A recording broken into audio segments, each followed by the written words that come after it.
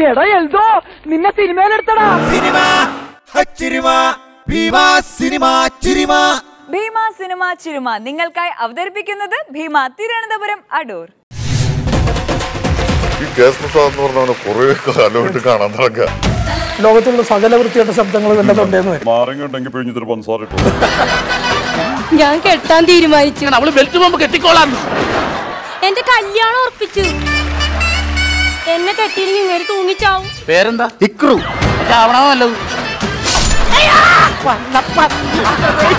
ഞങ്ങൾ ആറാം ക്ലാസ് മുതൽ പത്താം ക്ലാസ് വരെ ഒരു ക്ലാസ്സിൽ ഇരുന്ന് പഠിച്ചു. എന്നിട്ടും ഒന്നും പഠിച്ചില്ല രണ്ടുപേരും. അപ്പൊ ബോംബ് കെട്ടിയേക്കണം നിന്റെ അരയിലാണല്ലോ. അപ്പൊ പൊട്ടുമ്പോ നീയാണ് മരിക്കണത്.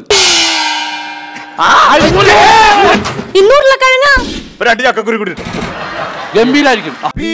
സിനിമ ചിരിമ. എന്താടാ? സലാം വെക്കടാ. പഴയ ഗംഗാധരനല്ല ബന്ധുക്കാരനാ. സലാം സാബ് ആ. മുതലാളി. മുതലാളി! മുതലാളി നിക്ക് നിക്ക് നിക്ക്. ഛീ, മാറി നിൽക്കടാ. പൊതി തുടരുത്. മുതലാളി അകത്തേക്ക് കയറല്ലേ പുറത്തേക്ക് വെക്കൂ. എടാ അകത്തേക്ക് വെച്ച കാൽ ഗംഗാധരൻ പുറത്തേക്ക് എടുക്കൂല. പിന്നെ പുറത്തേക്ക് വെക്കാൻ കാലുണ്ടാവില്ല. മാറി നിൽക്കടാ. ഞാൻ എന്റെ ബന്ധുക്കാരെയും മോനെയും കാണാൻ പോയി മോന തെറ്റിപ്പോയി തെറ്റിപ്പോയി. അനന്തരവൻ അനന്തരവൻ. അത് ഇന്നലെ വരെ. ഇന്ന് ഞാൻ അവനെ ദത്തെടുത്ത് സ്വന്തം മോനാക്കും. ദത്തെടുക്കും? അവന്റെ അമ്മാവനായ എന്റെ കയ്യിൽ നിന്ന് ഞാൻ തന്നെ ദത്തെടുത്ത് അവന്റെ അച്ഛനാവും. എന്റെ ഈശ്വര മുതലാളി ഞാൻ പറയണമെന്ന് കേൾക്ക് ഇപ്പൊ അകത്തേക്ക് പോകും പറയാൻ നീ ആരടാ? അവൻ മിണ്ടി. ആര് മിണ്ടി? കൂർക്ക അച്ഛനാ? ഇവിടെ ഒരു ഗൂർക്കെ കയറി അച്ഛാന്ന് വിളിക്കാൻ നാണമുണ്ടോ തെണ്ടി. മാറാ മുമ്പിന്ന് എന്തൊക്കെയാണ് ഈ കൊണ്ടുവന്നിരിക്കുന്നതെന്ന് അറിയാമോ? അച്ചപ്പം കുഴലപ്പം. മോനെ. എന്താടാ? സുഖം തന്നെയല്ലേ? അവൻ അങ്ങനെ പറഞ്ഞ മനസ്സിലാവില്ല. ആംഗ്യ ഭാഷ കാണിക്കണം. ഞാൻ കാണിച്ച. മോനെ അമ്മാവൻ. അം അം അം. മാവു മാവു മാവു. വൻ വൻ. അമ്മാവൻ. ഏ? മനസ്സിലായില്ലേ? മനസ്സിലായി. അമ്മാവൻ എന്നല്ലേ?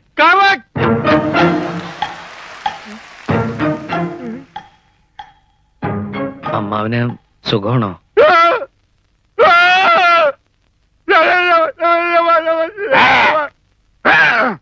അവൻ സംസാരിച്ചു സാബ് അവൻ ആദ്യമായിട്ട് സംസാരിച്ചു സാബ് എന്റെ അനന്തരം അവൻ സംസാരിച്ചു. ഞാൻ ആദ്യമായിട്ട് ഒന്നുകൂടി സംസാരിച്ചേ. ആദ്യമായിട്ടല്ല ഞാൻ പണ്ട് മുതലേ സംസാരിക്കും. എനിക്ക് ചെവിയും കേൾക്കാം. ഇല്ല ഞാൻ വിശ്വസിക്കില്ല. നീ ഊമയാണ്. സാബ് അമ്മച്ചിയാണ് ഇവന് ഊമയാണ്. ഇവൻ ബദറിനാണ് മൂങ്ങനാണ്. നമ്മളെ പറ്റിക്കാൻ വേണ്ടി ഇവൻ സംസാരിക്കുന്ന പോലെ ആക്ട് ചെയ്യുന്ന സാബ് എടാ ആക്ട് ചെയ്യണം സത്യം പറയണോ നീ ഊമയല്ലേ? അല്ല? സത്യമല്ലേ ഇവർക്കറിയാം. മുതലാളിക്ക് എന്നെ കടലിൽ നിന്ന് കിട്ടിയതെന്ന് ഞാൻ ഇവരോട് പറഞ്ഞു.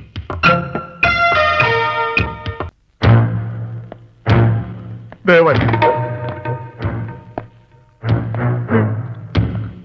എന്നെ ഒന്നും ചെയ്യരുത്. ഇവൻ സംസാരിക്കാൻ കഴിയുന്ന ഊമയാണെന്ന് എനിക്ക് സത്യമായിട്ടും അറിയില്ലായിരുന്നു. ഇവൻ എങ്ങനാ? തന്റെ അനന്തരവനായത്? അതിപ്പോ എല്ലാ ഇന്ത്യക്കാരും എന്റെ സഹോദരി സഹോദരന്മാരാണല്ലോ. അതിലേതെങ്കിലും ഒരു സഹോദരിയുടെ മകനായിരിക്കുമല്ലോ ഇവൻ. ആ വകയിൽ ഇവൻ എന്റെ അനന്തരവനാകൂലേ ഇന്ത്യയിൽ എങ്ങനെയാണ്? പഞ്ചാബിൽ എങ്ങനെയാണെന്ന് എനിക്കറിയില്ല. ഏതായാലും നീയാണ് ഇവനെ ഞങ്ങൾക്ക് തന്നത്. അതുകൊണ്ട് നീ വാങ്ങിയ പണം ഇനി തിരിച്ചു തരണ്ട. അപ്പൊ പലിശ? അതും വേണ്ട.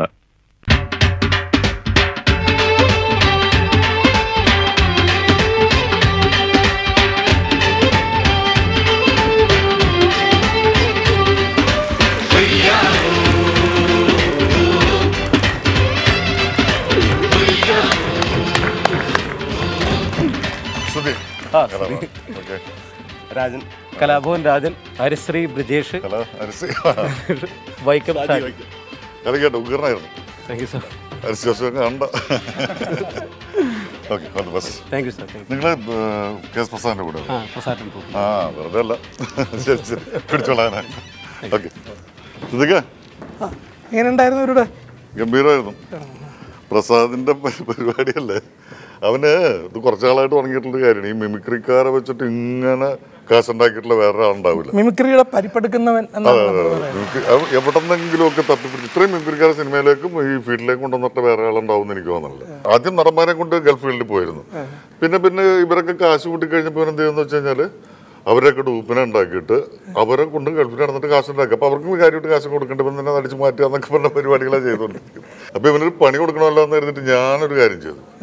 കാരണം എന്നെ ഒരു പരിപാടിക്ക് വിളിച്ചിട്ട് ഞാൻ പൈസ പറഞ്ഞിട്ട് പൈസ കൂടുതലാണെന്ന് പറഞ്ഞിട്ട് എന്റെ എന്റെ ഡൂപ്പിനെ കൊണ്ട് പോകാനാണ് അപ്പൊ ഞാൻ ഒരു പരിപാടി വന്നപ്പോഴേക്കും പ്രോഗ്രാം വന്നപ്പോൾ ഞാൻ കുറച്ച് പേരൊക്കെ അപ്പൊ ഞാൻ പ്രസാദം ഉണ്ടെന്ന് പറഞ്ഞിട്ട് പ്രസാദിന്റെ ഡൂപ്പിനെ കൊണ്ടുപോകാം. ഒരു പണി കൊടുത്തു. ഏകദേശം പ്രസാദനെ പോലെയൊക്കെ ഇരിക്കുന്ന അതുപോലെ ചിരിക്കുന്ന കസേരയിലൊക്കെ ഇരുന്ന് തിരിഞ്ഞു കാണിക്കുന്ന ഒരാളെ കിട്ടി.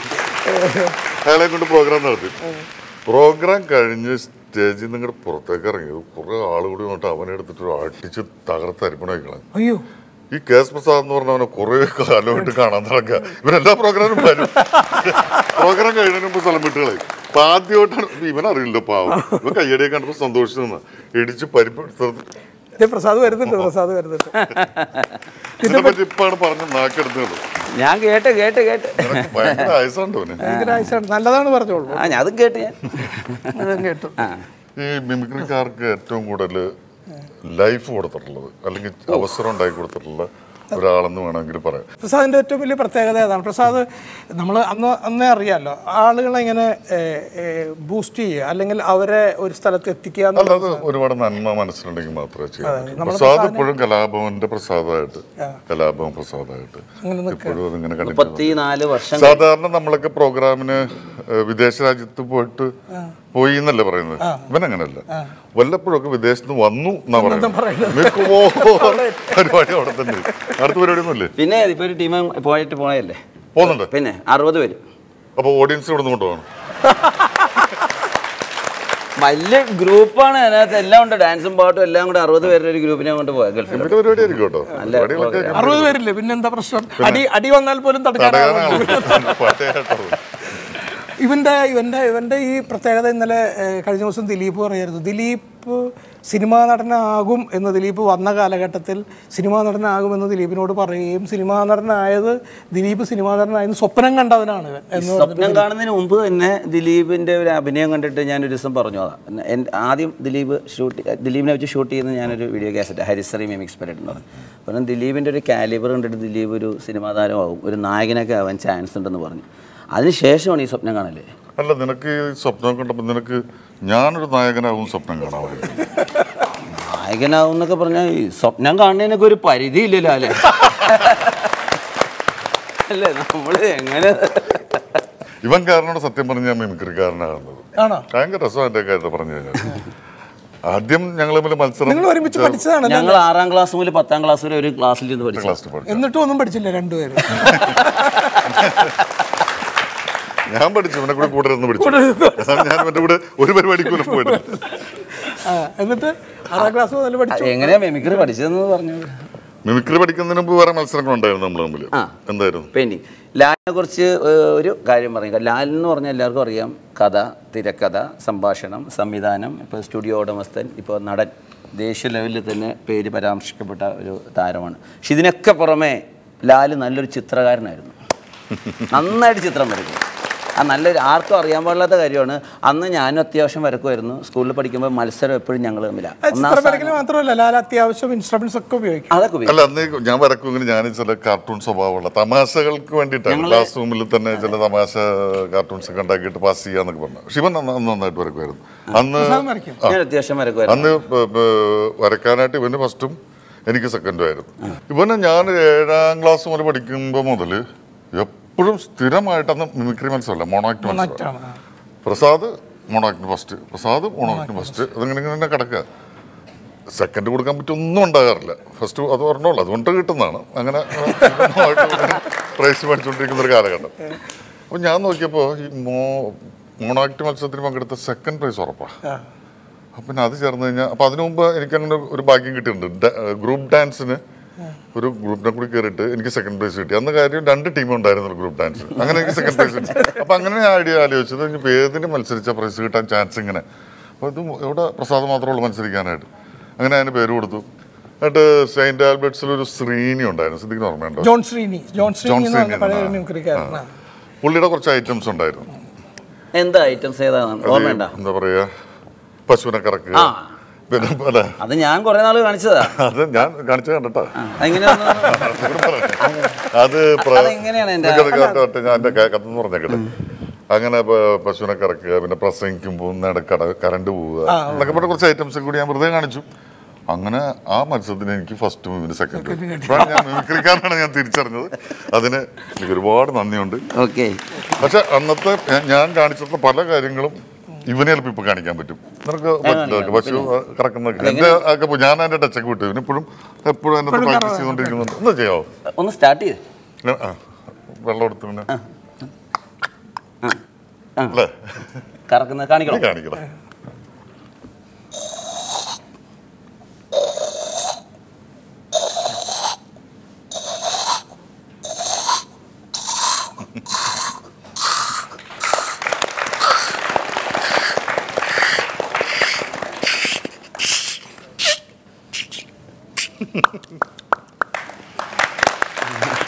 ഇവന് പറ്റിയ പണി ഇത് തന്നെ. അല്ല മിമിക്രി. അത് അവൻ അവൻ കറക്റ്റ് ആയിട്ടുള്ള ആളാ. അതിനകത്ത് തന്നെ മുമ്പോട്ട് പോകുന്നതിന് നീ ഒന്നും മതി. ആണല്ലേ? അത് നിനക്ക് വേണ്ടിയിട്ടല്ല. ഇവിടെയുള്ള ഈ മാ പോലുള്ള സംഘടനയിലുള്ള ഒരുപാട് മിമിക്രിക്കാർക്ക് വേണ്ടിയിട്ട്. അതെ. പ്രസാദിനെ ആദ്യം കാണുന്നത് നമ്മൾ രണ്ടുപേരും കൂടി ചേരാനല്ലൊരു ഒരു പ്രോഗ്രാം എനിക്ക് സത്യത്തിൽ എനിക്ക് കൃത്യമായിട്ട് ഓർമ്മയില്ല. അല്ല എനിക്ക് എനിക്ക് ഓർമ്മയുണ്ട്. കാരണം ഞാൻ വർക്ക് ചെയ്യുന്ന സ്കൂളിലെ ഹെഡ് മാസ്റ്ററുടെ. അവിടെ ചെല്ലുമ്പോൾ എന്റെ അടുത്ത് സാറ് പറഞ്ഞു സിദ്ധിക്ക ഇങ്ങനെ നിങ്ങളുടെ മിമിക്രി കൂടാതെ ഒരു ഒരു പയ്യനും കൂടി മിമിക്രി കാണിക്കുന്നത് അപ്പോൾ ആരാണ്? എന്ന് ചോദിച്ചപ്പോൾ പ്രസാദ് എന്ന് പറഞ്ഞു. ഞാൻ കുഴപ്പമില്ല എന്നാണ്. അപ്പോൾ ഞാൻ ലാലിന്റെ അടുത്ത് പറഞ്ഞു ഇങ്ങനെ പ്രശ്നം. അവൻ എന്റെ കൂടെ പഠിച്ചാണ് അവൻ തിരക്കേടില്ലാതെ കാണിക്കും. അപ്പോൾ ഞാൻ ആലോചിച്ചപ്പോൾ രണ്ട് നമ്മളൊരു മിമിക്രി അത് കഴിഞ്ഞിട്ട് അല്ലെങ്കിൽ ആ പയ്യന്റെ ഒരു മിമിക്രി അത് കഴിഞ്ഞിട്ട് നമ്മുടെ ഒരു മിമിക്രി. അപ്പോൾ ഒരു മത്സരം പോലെ വരും. അന്ന് എന്നെ കണ്ട പയ്യനായിട്ട് തോന്നുന്നല്ലേ ഇന്നത്തെ പോലെ തന്നെ? പ്രായത്തിൽ? സ്വഭാവത്തിലും ആ ഓക്കെ ഓക്കെ. പശുക്കറവയിലും ഒക്കെ അങ്ങനെ തന്നെയാണ്. അപ്പോൾ അങ്ങനെ പ്രസാദിനെ കണ്ടിട്ട് ഞാൻ ചോദിച്ചു പ്രസാദിനോട് പറഞ്ഞു പ്രസാദ് തനിക്കറിയാമെന്ന് പറഞ്ഞു. അങ്ങനെ ഞാൻ ചോദിക്കാൻ പറഞ്ഞു നമുക്ക് ഒരുമിച്ച് ചെയ്യാം. ഒരുമിച്ച് ചെയ്യാം. കാരണം രണ്ടായിട്ട് ചെയ്യണ്ട. പ്രസാദിന്റെ ഐറ്റവും നമ്മുടെ ഐറ്റവും തമ്മിൽ ക്ലാഷ് അല്ല. അത് വേറെയാണ്. നമ്മൾ ശബ്ദങ്ങളാണ്. ലോകത്തുള്ള സകല വൃത്തിയുടെ ശബ്ദങ്ങൾ ഇവന്റെ തൊണ്ടേന്ന് വരും. അപ്പൊ അതുകൊണ്ട് ഇവന്റെ അങ്ങനെയാണ് നമ്മൾ ഇരുമ്പ് മനുഷ്യന് ഇവൻ ആദ്യമായിട്ട് എഫക്റ്റ് ഇടുന്നത്. അങ്ങനെയാണ്, അപ്പൊ അത്തരം ഒരു സ്കിറ്റിലാണ് ഇവനെ കാണുന്നത്. ആദ്യമായിട്ട് ഞാൻ കാണുന്ന പ്രസാദിനെ കാണുന്നത്. നമ്മുടെ നോർത്ത് റെയിൽവേ ട്രാക്കിന്റെ അടുത്താണ് വീട്. നമ്മളും ഒരുമിച്ച് പരിപാടിക്ക് പോകുന്നതുപോലെ വളരെ ആക്സിഡന്റിലായിട്ടായിരുന്നു ആദ്യമായിട്ട് ആദ്യമായിട്ട് പോകുന്നത്. ഉസ്മാനായിരുന്നു എന്റെ കൂടെ. ഉസ്മാൻ ഉസ്മാൻ. ഉസ്മാൻ ഉസ്മാൻ ഗൾഫിലേക്ക് പോകാൻ വേണ്ടിയിട്ട് ബോംബെക്ക് ഒളിച്ചുപോയി. ഒരു പ്രോഗ്രാം ബുക്ക് ചെയ്തിട്ട് മറന്നുപോയി. അപ്പൊ എന്റെ കൂടെ പോകാൻ ആളില്ല. എന്റെ കൂടെ ഒരു ആന്റണി എന്ന് പറഞ്ഞിട്ട് അവനും വേറെ പണിക്ക് പോയി. അവന് ഷാണായിസിന് ടിക്കറ്റ് കയറുന്ന പണി കിട്ടി. പണി കിട്ടി. സിനിമ എല്ലാവരുടെയും മനസ്സിലുള്ളതാണ്. അപ്പൊ അവന് ടിക്കറ്റ് കയറുന്ന പണി കിട്ടിയപ്പോ ഞങ്ങൾക്ക് ഭയങ്കര അയ്യോ ഞാൻ കൊതിച്ചിട്ടുണ്ട്. എല്ലാ ദിവസവും സിനിമ എല്ലാ ഓ ദിവസവും സിനിമ കാണാം. എന്നിട്ട് ഞങ്ങൾ ഞങ്ങളെയും കൂടി പറഞ്ഞു ഷണായിസർ ഒന്ന് എടുപ്പിക്കണം എന്നൊക്കെ പറഞ്ഞു. ഞാൻ ശ്രമിച്ചിട്ടുണ്ട്. ഞാൻ ശ്രീധറിൽ കയറാൻ വേണ്ടിയിട്ട് വേറെ ആളെ വഴിയായിട്ട് എ എൽ ജെക്ക് വഴിയായിട്ട് റെക്കമെൻഡ് ചെയ്തിട്ടൊക്കെ നോക്കി. കിട്ടിയില്ലേ? പക്ഷെ കിട്ടിയില്ല സിനിമ കാണലാണ്. അല്ലാതെ ടിക്കറ്റ് കയറാൻ വേണ്ടിട്ടല്ല വേണ്ടിയിട്ടല്ല. സിനിമ അത്രയും ക്രൈസാണ് നമുക്ക് അന്ന് മുതലേ. പക്ഷെ നമ്മൾ അന്ന് മിമിക്രി നടത്തുന്ന കാലത്ത് പോലും നമ്മൾ അതൊരു ഇടത്താവളമാണ്. അല്ലേ? നമുക്കറിയാം. നമുക്കറിയാം. പിന്നെ ഞാൻ സ്കൂളിൽ വർക്ക് ചെയ്യുന്നുണ്ട്. താൻ മറ്റേ ബിൽഡിംഗ് ഡിസൈൻ ഡിസൈനിങ്. ഡാറ്റ്മാനായിട്ട് വർക്ക് ചെയ്യുന്നു. ഇതെല്ലാം ഇതല്ല നമ്മുടെ അല്ല ഏതൊരു മനുഷ്യന്റെ സക്സസ് ആകുന്നത് ഞാൻ എന്താണെന്ന് തിരിച്ചറിയുക എന്ന് പറഞ്ഞ സ്ഥലത്ത് വെച്ചിട്ടാണ്. അതെ അതെ. ഒരു നമ്മളിതെല്ലാം തൃപ്തി നമ്മൾ തൃപ്തനല്ലെങ്കിൽ പിന്നെ അവിടെ നിൽക്കരുത് എന്താണ് നമ്മൾ കണ്ടെത്താനായിട്ട് ശ്രമിക്കുക എന്ന് പറയുന്ന ഒരു സംഭവം. അടുത്ത സ്ഥലത്തേക്ക് നമ്മൾ പോകണം അപ്പോൾ നമുക്കിനി ഒരു നമ്മുടെ മിമിക്രി കലാകാരന്മാർ റെഡിയായി കഴിഞ്ഞു. അവരുടെ ഒരു പ്രകടനം കണ്ടതിന് ശേഷം നമുക്ക് വീണ്ടും തിരിച്ചു വരാം. ഏതാ? ആ തകർപ്പൻ സ്കിറ്റിന്റെ ഫസ്റ്റ് ബെൽ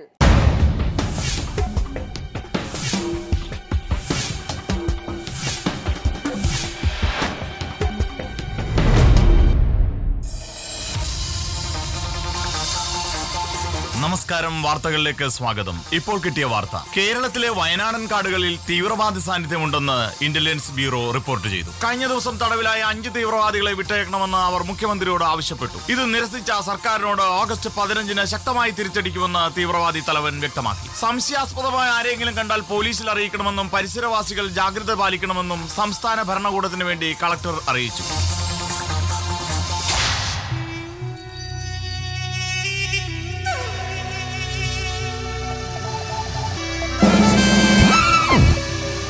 കിട്ടിയോ? കിട്ടിയില്ല. പക്ഷെ അത് ഇവിടെ എവിടെയോ ഉണ്ട്. ഇത് എവിടെ പോയെന്നറിയാൻ പാടില്ലല്ലോ. നിനക്ക് കിട്ടിയാടാ. ഇല്ലാന്നേ. ഒറ്റ നമ്പറിന് മാറിപ്പോയി. എടാ നമ്മുടെ അഞ്ച് സഹോദരങ്ങൾ അവിടെ ജയിലിൽ കിടക്കുകയാണ് അപ്പോഴാണ് നീ ലോട്ടറി പോയി കളിക്കുന്നത് പിന്നെ ലോട്ടറി എടുത്താൽ നോക്കണ്ടേ? അല്ല നിങ്ങൾ എന്ത് ഈ തിരക്കണത്? അല്ലേ ഞങ്ങളുടെ ഒരു ഇരുപത് രൂപയുടെ റീചാർജ് കൂപ്പൺ ഇവിടെ പോയി. അത് കിട്ടിയാൻ നോക്കിയതാ. വെറുതെ എന്താ ഇന്നലെ വൈകുന്നേരം എന്റെ പോക്കറ്റിൽ കിടന്ന് ഇരുപത് രൂപ കാണാണ്ട് പോയി. ഹലോ. ആ. ചേട്ടാ പാലം കടന്നാലേ ഒരു വെള്ളച്ചാട്ടുണ്ട്. അവിടെ എത്തുമ്പോ എന്നെ വിളിച്ചാ മതി. ചേട്ടാ പിന്നെ കുളിച്ചിട്ടൊക്കെ വരണേ. ശരി. നമ്മുടെ ഇരുപത് രൂപയുടെ. റീചാർജ് കൂപ്പണാണ് സംസാരിച്ചുകൊണ്ട് പോണത്. ഇവളെ ആരാട്ടിനേക്ക് ഇങ്ങോട്ട് വിളിച്ചു വരുത്തണം കേട്ടാ അവളെ വിളിക്കാനെങ്കിലും ആരെങ്കിലും ഉണ്ട്. നമ്മളെ വിളിക്കാൻ ആളില്ലേ? ആര്? പിന്നെ തൊള്ളക്കും മുത്തിക്കൊക്കെ എല്ലാവരും വിളിക്കുന്നുണ്ട് എടാ ഹിന്ദി പഠിക്കണം ഹിന്ദി. ഓ. ഹിന്ദി അറിയാൻ കേട്ടില്ല. മണി മണി പോലെ നമുക്ക് മേലോട്ട് വരാം ദേ ഞാൻ നാളെ ഹിന്ദി പഠിക്കാൻ പോയി. നീ ആദ്യം മലയാളം എഴുതാനും വായിക്കാനും പഠിക്കും. എന്താ എന്റെ മലയാളത്തിൽ നീ കഴിഞ്ഞ ആഴ്ച അച്ഛൻ എഴുതിയ എഴുത്തൊക്കെ ഞാൻ വായിച്ചു. അതിപ്പോ എന്താ? ഇവൻ ആഴ്ച ആഴ്ച അച്ഛനെ ഇഷ്ടമുള്ളതുകൊണ്ട് നമുക്ക് ഇവിടെ ചിരിക്കാനുള്ളൊരു വകയും കിട്ടുന്നുണ്ട് ഇവൻ അച്ഛനോട് ചോദിക്കണേ കൊച്ചന് സുഖമല്ലേ ഞാൻ കൊച്ചാക്കെന്നാ വിളിക്കണ? കൊച്ചു മാറ്റി വിളിച്ചാ മതിടാ. അപ്പി എന്നാ? ഒറ്റ കീറോച്ചെന്നാണില്ല നിന്റെ അപ്പൻ ഏതാണെന്ന് ആരാണ് നിന്റെ അച്ഛൻ എല്ലാവർക്കും അറിയാലോ. സ്വാതന്ത്ര്യ സമര സേനാനി തന്റെ അച്ഛനാ? പിന്നെ? എടോ അപ്പൊ ആ കഥ ഒന്ന് പറഞ്ഞൂടെ എടോ ബ്രിട്ടീഷ് പട്ടാളത്തിനോട് ഒറ്റയ്ക്ക് നിന്ന് പോരടിച്ച ആളാ എന്റെ അച്ഛൻ. തന്റെ അച്ഛനാ? എന്നിട്ട് പിടിച്ചു നിൽക്കാൻ പറ്റാണ്ടായപ്പോ ഇവിടുന്ന് ജപ്പാനിലേക്ക് നാട് വിട്ട്. അവിടെ ചെന്നിട്ട് ഐ എൻ രൂപം നൽകി. ബ്ലഡ് ബാങ്കിന്. അത് ഐ എം എ ഇത് I N A.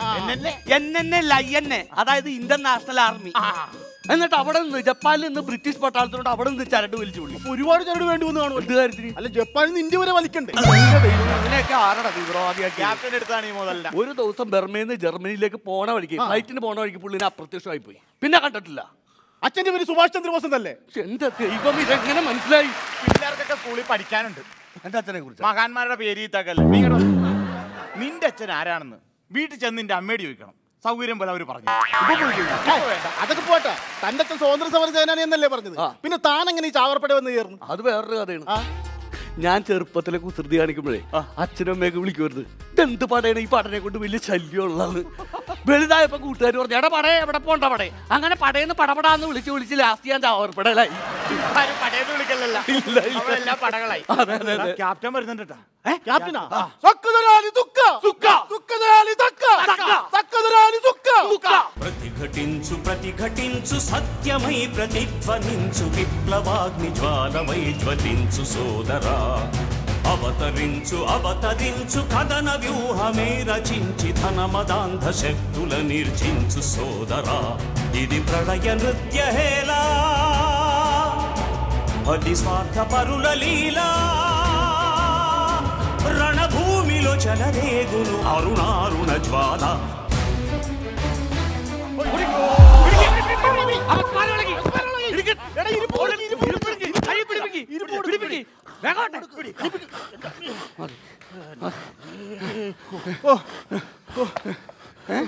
എന്താണ്? വിഷമുള്ള തീപ്പൊങ്ങി കേൾക്കണം മീൻ ചത്ത് പൊങ്ങി കേൾക്കണ അല്ലെ ആശങ്ക ഇറങ്ങി നടക്കണം. നിങ്ങൾ വാങ്ങിട്ട് പണി പാളിയാണ്. Okay okay. ക്യാപ്റ്റനോട് എപ്പോഴും ഞാൻ പറയാറില്ല ഈ കവിത ചൊല്ലല്ലേ ചൊല്ലല്ലേ ചൊല്ലല്ലെന്ന്. എപ്പോ ആ കവിത ചൊല്ലിയാലും അപ്പൊ ഫിക്സ് വന്ന് താഴെ വീഴും. ഇത് ഫിക്സ് കൊടുത്താലൊന്നും മാറുകയല്ല. ഫിക്സ് അല്ല ഫിക്സ് നിങ്ങൾ ഏതെങ്കിലും ഒന്ന് ഫിക്സ് ചെയ്യും. ഫിക്സ് ഒന്നും മിണ്ടാണ്ടിരിക്കുക എന്റെ തലൊന്നും നേരെ കിട്ടുന്നു. ക്യാപ്റ്റൻ. നമ്മുടെ അഞ്ചു സഹോദരങ്ങളാണ് ജയിലിൽ കിടക്കുന്നത്. ഓക്കെ. അഞ്ചു സഹോദരങ്ങളെ പുറത്തിറക്കണം. എത്ര പെട്ടെന്ന്? അതിനു അതിന് വേണ്ടി ഒരു കാര്യം ചെയ്തു വാ. നാളെ നമ്മൾ ശബരിമലക്ക് പോകുന്നു. ഞാൻ വരണ്ടേ? നീ നോമ്പെടുത്തിട്ടുണ്ടോ എനിക്ക് പെലയല്ലേ ഞാൻ എങ്ങനെ പോകാനാ. ഞാൻ ഉച്ചയ്ക്ക് ഇറച്ചി കിട്ടി. ഞാൻ ചിങ്ങത്തിലൊന്ന് പോയതാണ് വർഷത്തിൽ ഒരു തവണ പോകാൻ പറ്റുള്ളൂ. എന്താണ്? രണ്ടു ദിവസം മുമ്പ് പറയായിരുന്നില്ല ഞങ്ങൾ നോയമ്പെടുത്താനില്ല നോയമ്പെടുത്തിട്ടില്ല. അയ്യോ മാലയിട്ട് അവിടെ പോയി തൊഴാൻ പോണല്ല നാളെ ശബരിമല മുഖ്യമന്ത്രി വരും. നമ്മൾ അവിടെ ചെല്ലുന്നു മുഖ്യമന്ത്രിയെ പൊക്കുന്നു നമ്മുടെ അഞ്ച് സഹോദരൻ വിട്ടില്ലെങ്കിൽ മുഖ്യമന്ത്രി തട്ടുന്നു. സംഗതി ഐഡിയ ആണ്. കൊള്ളാം പക്ഷേ നോമ്പെടുക്കാണ്ട് പോകാൻ ശബരിമല എന്നൊക്കെ പറയുമ്പോ ദോഷം കിട്ടും. അതൊക്കെ കള്ളത്തരോടാ അതൊക്കെ? വിശ്വാസം വേണം. സ്ഥലം മാറ്റി പിടി. സ്ഥലം മാറ്റി പിടിക്കണം മുഖ്യമന്ത്രിയോട് പഴനി വരാൻ പറഞ്ഞാലേ. പഴനി ശബരിമല ഒന്നും വേണ്ട. മുഖ്യമന്ത്രിയോട് നമ്മൾ പറയുന്ന സ്ഥലത്ത് വരാൻ പറ അപ്പൊ നമുക്ക് പെട്ടെന്ന് കിഡ്നാപ്പ് ചെയ്യാം. കിഡ്നാപ്പ് ചെയ്യാം. ഒരു ഉഗ്രൻ ഐഡിയ. നാളെ ഓഗസ്റ്റ് പതിനഞ്ച് ഈ ഡേറ്റിന് എന്തോ ഒരു പ്രത്യേകത ഉണ്ട് എവിടെ കേട്ടിട്ടുണ്ട് ക്യാപ്റ്റൻ എന്താണ് ഈ ഓഗസ്റ്റ് പതിനഞ്ചിന്റെ പ്രത്യേകത നമ്മൾ കോടീശ്വരം കളിക്കാൻ വന്നാണ് ഇവിടെ അങ്ങോട്ട് മാറിക്കടാ നാളെ ഓഗസ്റ്റ് പതിനഞ്ച് അതിനല്ലേ നേരത്തെ പറഞ്ഞത് ഞാനെന്ത് പറഞ്ഞു പറ്റാ നാളെ ഓഗസ്റ്റ് പതിനഞ്ച്. നാളെ എന്താ ഡേറ്റ് അപ്പൊ നിങ്ങൾക്ക് പറയാം ഞാൻ പറഞ്ഞാലും കുഴപ്പമില്ല അതായത് നാളെ ഞാൻ ഓഗസ്റ്റ് പതിനഞ്ചെന്ന് പറഞ്ഞില്ല. അല്ല ഡേറ്റ് അതാണല്ല. അതല്ലേ പറയാൻ വന്നത്? ഞങ്ങൾക്കറിയാലോ നീ എപ്പോഴും എപ്പോഴും അങ്ങോട്ട് വല്ല നിങ്ങൾ വിടുവാ അങ്ങോട്ട് വാ. നാളെ. നാളെ. കോട്ടി കയറുന്ന ദിവസം. ഏത് പൂരത്തിന്? പൂരത്തിനല്ല പൊങ്കാലയുടെ. സ്കൂളിലൊക്കെ പതാകയൊക്കെ ഉയർത്തിയിട്ട് ലഡു മിഠായിയൊക്കെ വിതരണം ചെയ്യില്ല ആ ദിവസം. പുല്ല് പറിക്കുന്ന ദിവസം. സ്വാതന്ത്ര്യ ദിനം. അത് തന്നെ. നാളെ. ഒരു പ്രാവശ്യം കൂടി പറയൂട്ടാ. ഓഗസ്റ്റ് പതിനഞ്ച്. ഓക്കെ. ഓഗസ്റ്റ് പതിനഞ്ചിന്റെ ആലോചന നടക്കുന്ന സമയത്ത് ആലോചന? എന്റെ മൂക്കടഞ്ഞിരിക്കുന്നു. എന്നാ ജലദോഷം എന്ന് പറ. മറ്റേ ഇത് കൊടി കയറുന്നതിന്റെ ഒത്തുകൂട്ടായ്മയിൽ നമ്മൾ നേരെ ചെല്ലും. എറണാകുളം നോർത്ത് റെയിൽവേ സ്റ്റേഷൻ തെറ്റിപ്പോയി? എറണാകുളം കറക്റ്റ് ആയിരുന്നു. അത് ശരിയാ. എനിക്കും തോന്നി. സംഭവം തെറ്റിന്ന്. എന്നാലും ഓപ്പറേഷൻ വളരുതല്ലോ നോർത്ത് വരുമോ നാളെ. നോർത്ത് ഓക്കെ അല്ല. South railway station. Railway station. Train എത്ര ബസ് സ്റ്റോപ്പ് അപ്പൊ അവിടെ നമ്മൾ ചെല്ലുന്നു. ബോംബ് വെക്കുന്നു തകർക്കുന്നു. അപ്പൊ നമ്മുടെ അഞ്ച് സഹോദരങ്ങൾ വിട്ടു വരും ഇല്ലെങ്കിൽ നമ്മൾ സൗത്ത് റെയിൽവേ സ്റ്റേഷനും കളമശ്ശേരി റെയിൽവേ സ്റ്റേഷനും എല്ലാം തകർക്കണം. ഗുഡ് ഐഡിയ ഓക്കെ അല്ലേ? ഒരു കുഴപ്പമില്ല. ഒരു കുഴപ്പമില്ല. ചെറിയൊരു കുഴപ്പമുണ്ട്. നാളെ നിങ്ങളിൽ ഒരാൾ. ഞാൻ ഞാൻ പോവാം. ഞാൻ എന്താ കുഴപ്പമുള്ളത്? ഞാൻ പോകാം. ഒരാൾ മതി. ഞാൻ മതി എടാ ഞാൻ പോവാടാ. ഞാൻ മതി അത് തീരുമാനിക്കും ഒരാളിപ്പോ നിങ്ങൾ എല്ലാവരും വരുമെന്ന് എനിക്കറിയാം. ആരേലും ബെൽറ്റ് ബോംബ് കെട്ടി വെച്ചിട്ട് റെയിൽവേ സ്റ്റേഷനിലേക്ക് ചെല്ലുന്നു നെക്കുന്നു പൊട്ടിച്ചതറുന്നു ഛിന്ന ഭിന്നമായി റെയിൽവേ സ്റ്റേഷൻ ചതറും. അതിന്റെ കൂടെ ഈ ചാവർപ്പടയുടെ ധന്യമായ ഒരു അംഗമാകാൻ നിനക്ക് കഴിയും.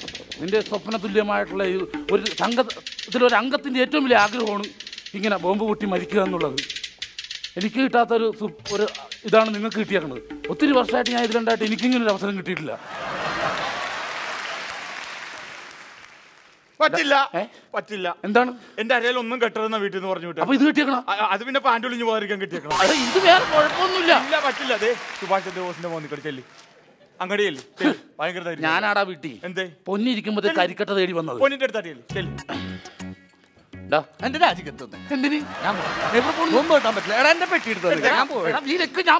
പൊക്കോളാന്ന് ഇതൊരു ബോംബാണ്. എന്തായിക്കോട്ടെ അത് കെട്ടാൻ പറ്റില്ല. നമ്മുടെ അഞ്ച് സഹോദരങ്ങൾ ജയിലിൽ കിടക്കുന്നത്. അയ്യോ എന്റെ അമ്മ പറ്റതല്ല? വല്ലവരും പറ്റിയിട്ടിരിക്കണതിനൊക്കെ ഞാനെന്തിനാ പോകും പൊട്ടിച്ചാവണത് എനിക്ക് പറ്റില്ല. പറ്റില്ലേ? ഞാൻ ഇനി എന്നിട്ട് അത് പോയായിരുന്നു അതോടെ ഇതിനൊക്കെ പറ്റില്ലല്ലോ വെറുതെ മാറി അല്ല ഞാൻ ഇതെന്ത് ഇവിടെ തന്നെ നിൽക്കണത് നീ എന്ത് പിച്ചും പേര് പറഞ്ഞത്? പറ്റില്ല. നീ കെട്ടണ്ട. പോയി. പോയി ഇവിടെ വന്നു. അല്ല ഒരു ബോംബ്. അപ്പൊ ബോംബ് കെട്ടാൻ പറ്റില്ല. പറ്റില്ല. നിനക്കും പറ്റില്ല. പറ്റില്ല. ഇവനും പറ്റില്ല. ഇല്ല. അങ്ങനെ പറഞ്ഞ അങ്ങനെ ശരിയാവണത്? ആരെങ്കിലും കെട്ടണ്ടേ? പറ്റൂലെന്ന്. ബോംബ് കെട്ടാൻ പറ്റില്ല. പറ്റില്ല. ശരി. ഇന്ന് ഇവിടെ ഉച്ചയ്ക്ക് ചിക്കൻ ബിരിയാണിയാ. കഴിക്കാൻ പറ്റുമോ പറ്റൂ. പറ്റും. ബോംബ് കെട്ടാനാ? പറ്റില്ല. ബിരിയാണി കഴിക്കാനാ? പറ്റും. ബോംബ് കെട്ടാൻ? പറ്റില്ല. ബോംബ് കെട്ടാനാ.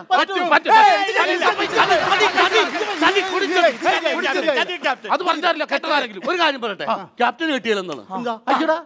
എന്റെ അരേ അരഞ്ഞാണം കിടപ്പുണ്ട്. അരഞ്ഞാണ് ബോംബോട്ട് ഫ്രാക്കായി പൊട്ടു. എന്റെ മൂത്തമ്മ കെട്ടി തന്ന അരഞ്ഞാണം. ആ. അതെ. ദേ ക്യാപ്റ്റൻ കെട്ടി കഴിഞ്ഞാൽ ഓപ്പറേഷൻ സക്സസ് ആയിരിക്കും.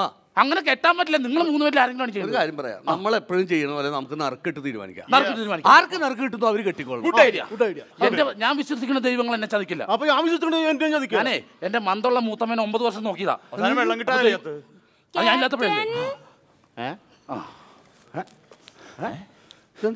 കൊഞ്ചൽ? ഭൂമി ഏറടിച്ചു ഞാൻ കെട്ടാൻ തീരുമാനിച്ചു. കാ കേട്ട് പഠിക്കണം. നിനക്കൊക്കെ അല്ലേ പേടിയുള്ളൂ? ഒരു പെൺകുട്ടി വന്ന് പറഞ്ഞാൽ പറ്റില്ലേ അവക്ക് കെട്ടാൻ പറ്റുമെന്ന്. നീ പറ്റിയെടുക്കണല്ലേ? വീട്ടിൽ പോണില്ലേ? പോടാ വീട്ടിൽ പോടാ. അന്നേരത്തെ ഒരു ദേശത്തിൽ എടാ ഇവക്കടെ അത്ര ധൈര്യം പോലും നിങ്ങൾക്കില്ലല്ല. ഒരു പെൺകുട്ടി നേരിട്ട് വന്ന് പറയണം അവൾ ബെൽറ്റ് പോകുമ്പോ കെട്ടിക്കോളാം.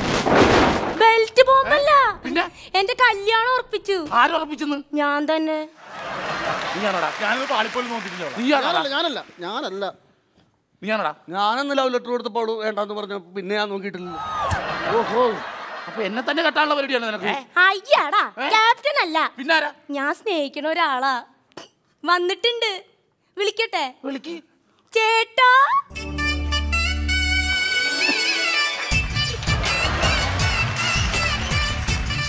എന്റെ മുറച്ചക്കനാ.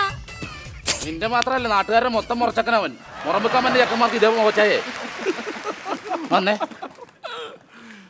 ഇവനെ പെറ്റതാണോ അതോ മുട്ട വിരിച്ചെടുത്താണോ ആ അങ്ങനെ കിട്ടുള്ളൂ. മരം വന്നിട്ട് പൈൽസ് വന്ന് വിട്ട്. നീയേ പുറത്തിറങ്ങുമ്പോ ഈർക്കിലിൽ ഒരു മുളക് കുത്തി വെക്ക്. ഇല്ല കാക്ക ഓടിച്ചിട്ട് കൊത്തും. നിങ്ങൾ എന്താണ്? ഇങ്ങനെയാണ് ഞാൻ കിട്ടൂട്ടോ. ഞാനും കിട്ടും. ഞാനും കിട്ടും. നിങ്ങൾ മൂന്നുപേരും കെട്ടണ്ട ഒരാൾ കെട്ടിയാൽ മതി. ഞാൻ കെട്ടിയിരിക്കും. ഞാൻ കിട്ടും. എടാ ഒറ്റ ബെൽറ്റ് പോകുമ്പോ ഉള്ളൂ ബെൽറ്റ് പിന്നെന്താണ്? ഞങ്ങൾ പെണ്ണ് കെട്ടുന്നു കൊന്നുകളെ ഞാൻ പെണ്ണ് കെട്ടിയാ. പിന്നെ അവൾ വിളിച്ചോണ്ട് വന്നാ? എടി നീ വന്നേ. നീ കുടുംബം കലക്കാൻ വേണ്ടിയാണ് വന്നത്. എന്റെ കൈവെള്ളിട്ടാ ഞാൻ കുടുംബം കൊണ്ടുപോണത്. എനിക്ക് താല്പര്യം ഉണ്ടായിട്ടല്ല. എന്നെ കെട്ടിയില്ലെങ്കിൽ ഇങ്ങനെ തൂങ്ങിച്ചാവും. മച്ചാവണോ നല്ലത്. അതെന്താ? അവിടെ എന്നാ? മതി അവളെ കെട്ടിയിൽ എന്ത് പറ്റും? ഞാൻ ചത്തുകളെ? ഞാൻ ചത്തുകളെ അവൾ സമ്മതിച്ചില്ലെങ്കിലാ? ഞാൻ ചത്തുകളെ നീ സമ്മതിച്ചില്ലെങ്കിലാ? ഞാൻ ചത്തുകളെ ഇല്ലേ? ഇപ്പൊ ചത്തുകളെയും ചത്തുകളെന്ന് മാത്രമല്ല പറയണത്. അതെ ഇവിടെ കെട്ടിക്കഴിഞ്ഞ ഭയങ്കര പ്രശ്നങ്ങളുണ്ട്. എന്നാലും ഞാൻ കെട്ടും.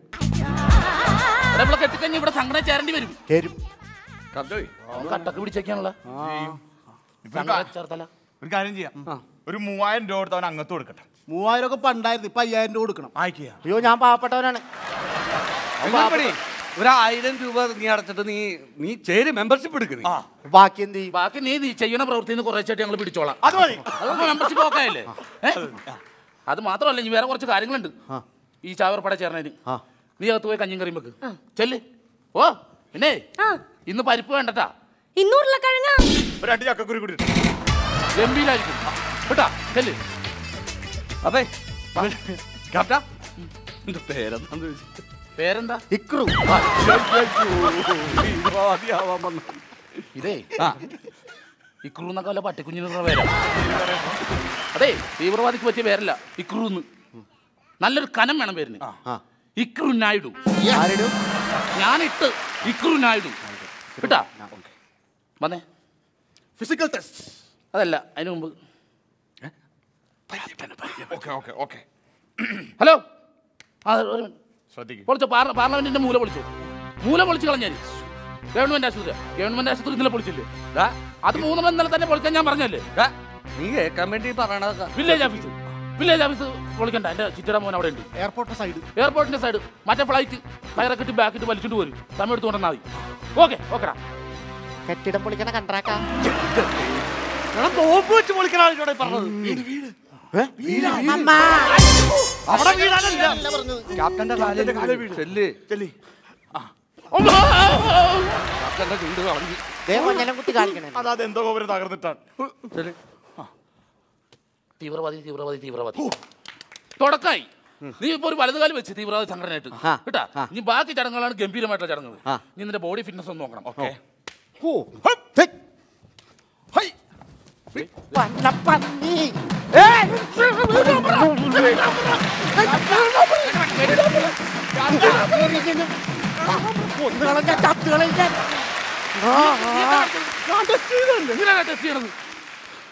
ഞാനല്ല അവനാ.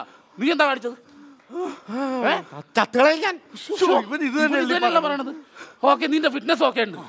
കയറുന്നേ കയറുന്നേ ഇനി നമുക്ക് ഭാവം വരണം മുഖത്ത് ഒരു ചാവർപ്പടാൻ പറയുമ്പോൾ ഒരു ഗൗരവം വരണം അതെ. അതിന്റെ മുഖത്ത് കാണണം. നെഞ്ചൊക്കെ വരിച്ചേ കണ്ണു തുറിച്ചേ ഭീകരത വരുത്തിക്കേ. കാപ്റ്റോയ് ആ. അപ്പുറത്തെ കണ്ണിൽ ഗൗരവം വന്നില്ല. ഇതെന്താ കുഴപ്പം? അത് ഇച്ചിരി കാഴ്ചോറുണ്ട് അപ്പൊ ഈ ചെവിക്കോല കുഴപ്പമുണ്ടോ? ചെവിക്കോല കുഴപ്പമില്ല കേൾക്കൂലെന്നേ ഉള്ളൂ. ഓക്കെ. എന്നാലും നിന്നെ ഞാൻ എടുത്തിരിക്കുന്നു. ഇനി ലാസ്റ്റ് ചടങ്ങ്. കൈ കാണിച്ചേ.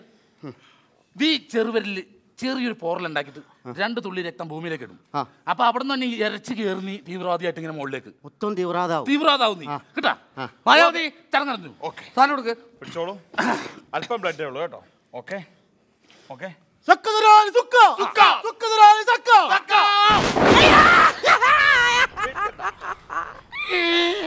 അവർ മൂന്നുപേരോട് എന്റെ കൈ മുറിച്ച് ചോരാ.